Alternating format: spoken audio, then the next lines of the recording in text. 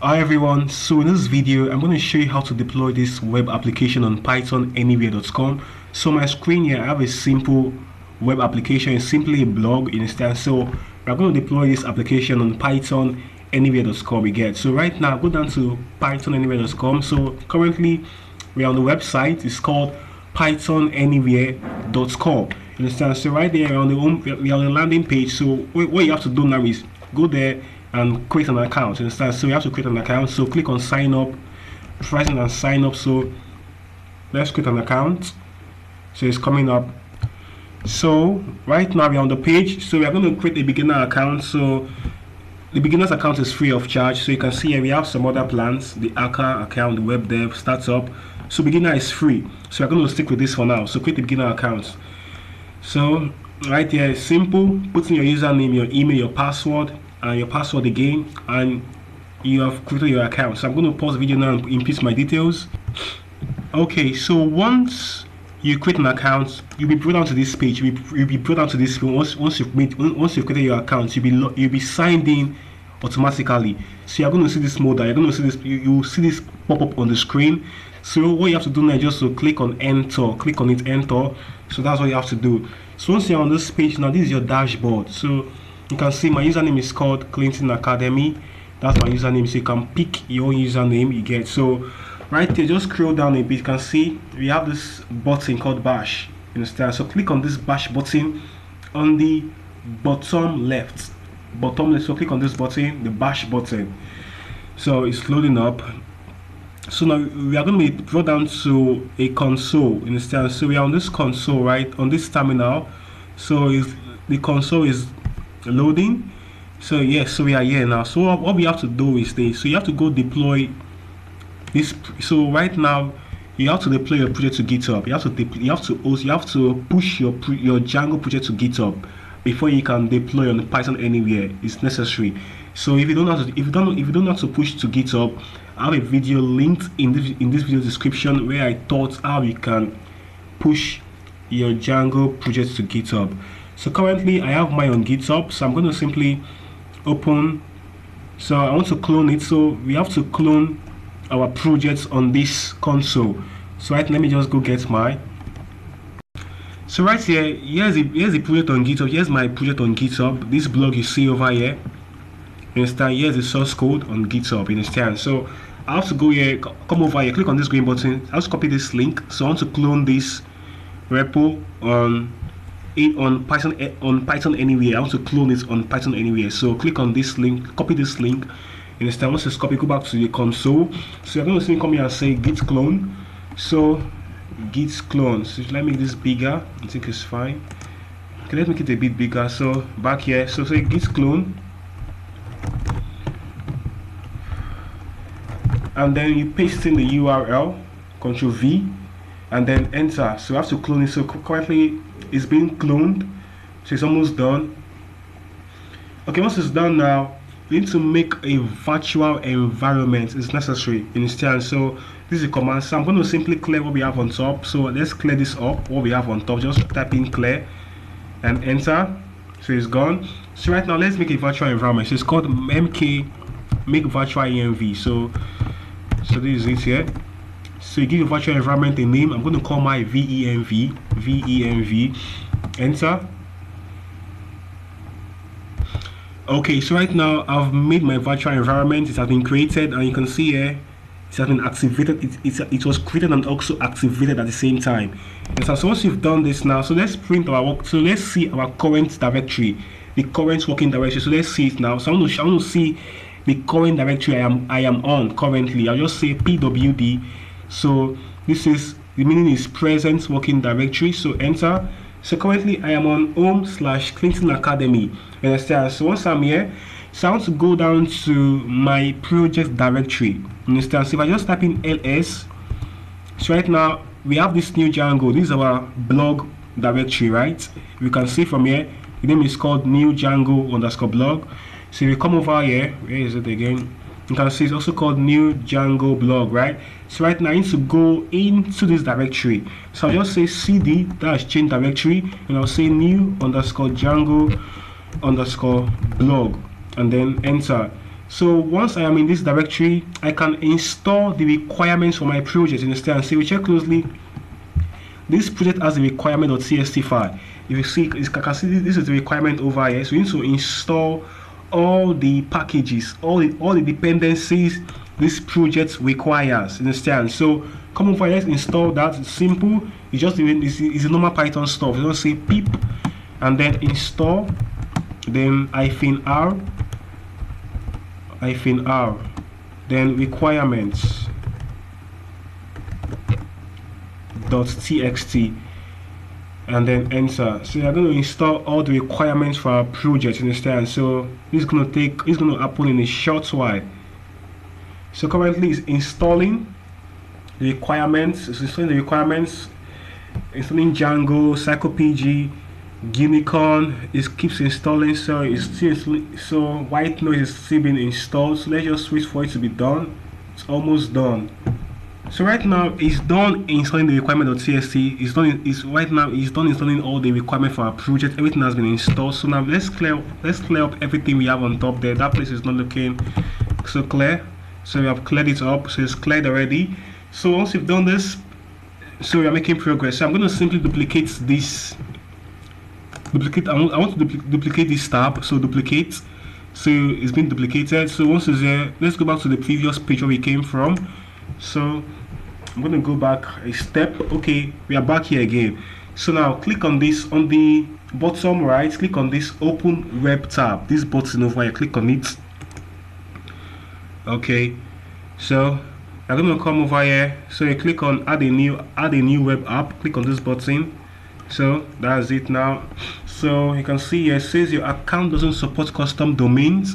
So we're going to be giving this as our domain name clintonacademy.pythonanywhere.com you're going to give in your username and then pythonanywhere.com so currently we're on the free plan. The free plan can only be able to host a single website in the stand so if you if you upgrade to the paid plans you'll be able to up, you'll be able to create you'll be able to host multiple web applications on python anywhere. But on the free plan can only host a single application. So click on this next button.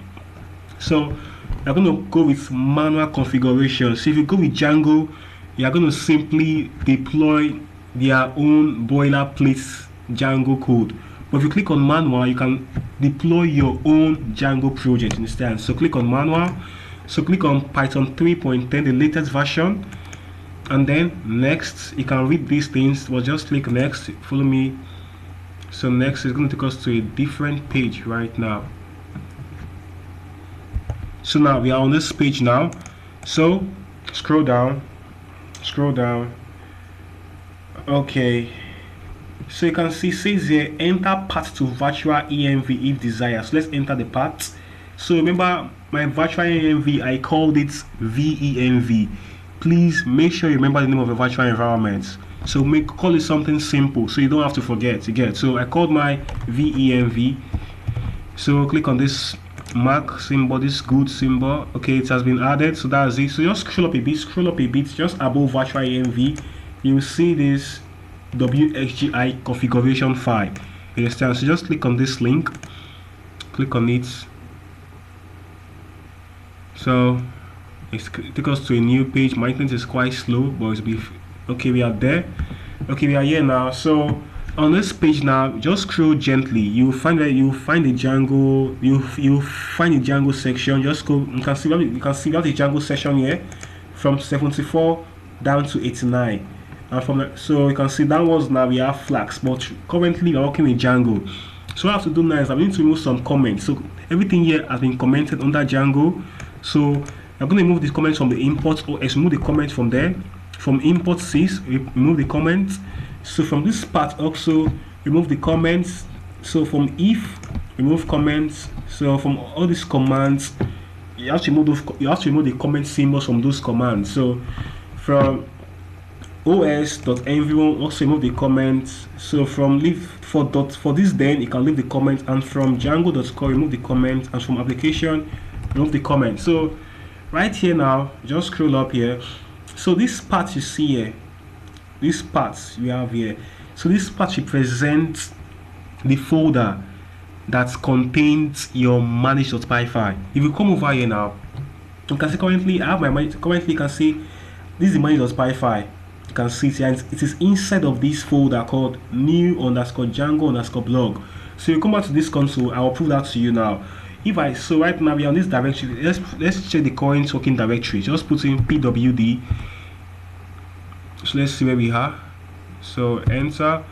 Sorry I, I, tapped it I typed that so that's why you can see it's still there. So you can see we are on home slash Clinton Academy slash new Django new Django blog so if I so right now I want to check the content of new Django blog so I say ls you can see right there we have manage.py file manage.py so over here we have to put in the folder that contains manage.py file so you can see in this part here so what what is so currently what is housing manage.py file is the new is this folder called new underscore django underscore blog. So come over here and let's move this my site. This my site this my site is just default. So we're going to put in new underscore django underscore blog.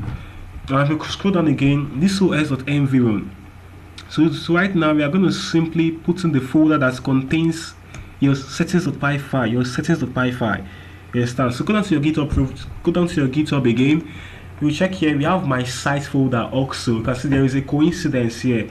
I called my my site, they called theirs also my site. If I click on this, this is my actual Django project. This is my site folder. If I click on it. Inside of this folder, I have I have my settings.py file instance. So right now we named our folders the same thing. So I don't I don't have to, I don't have to touch this I don't have to touch this again. I don't have to touch it understand? Because currently mine is also called my site. They call theirs also my site. So that's it. So now just after you've done this now click on this save on top here. Save. So you're going to save the changes we've made on this file. So once you've done this I think you can go back. Let's go back now okay. Okay so we are back here again. So we just scroll to the top. So copy this copy this domain. Copy it. Control c. And then click on files on top here. Files click on it. So click on files. So you can see you can see right here we have our new django blog this folder. So click on this folder. So whatever you want is called click on it. So this is my folder a new django blog. So it's coming up. So i'll simply go down to my site so my site so i'm going to my django project which is called my my site. This is my django project so it's coming up. So click on settings.py file okay now so right now go down to your allowed host. So you're meant to put in that url that the url you copied you're meant to put it here. Understand? So you're meant to put that there. It's necessary you put that there. So if you don't want to put it there you can simply just put in the asterisk that was there before then there was an asterisk there before. So this asterisk just accepts all domains but it's not the right way. So you can just come over here and put in the domain your domain understand? In your allowed oh, host but currently i'm going to take it back to okay it's fine yes this is how it should be this is the right way let's follow the right principles get. So on your debug you can turn off your debug to false understand? If it's true so we turn it off to false to for, because security reasons is important. So currently i'll leave mine as true. Okay let's go into false let's make it false or let's leave it as true but it's best to turn it to false that's the best way. So once you've done this now click on save again. Save. So it's saving. So let's give it some time. So it's done saving. So let's go back again. Go back. So once you're here click back on click on dashboard dashboard. So your dashboard now just scroll down click on this link click on it. This link you see I click on it. Or open let's open a new tab. Click on that link. So we are on this link now just open that link on the new tab now. So click on here so you have to reload. So reload so we reload so we have to reload this. So reload it. Click on the reload button. So click on it so it's reloading so once it's done we can then access our website. So it's done now. Click on this this is your domain. So click on it. So let's see.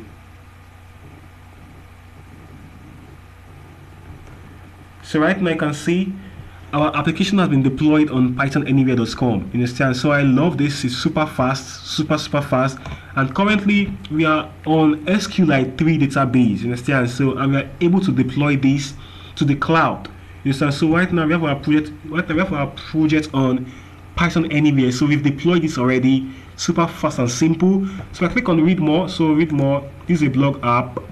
So it's quite it's very very fast. It's fast here so this is our blog application. I could add a comment. Like let's say let's just say beautiful. And then click on submit. Comment has been added. Nice. Understand? So i could like a blog post. Click on like you see i'm not logged in so, so i'm not logged in so i can't like if i'm not logged in. So okay that's it. So everything is fine here. You can see everything is perfect. So you can search for a blog post if you want to search.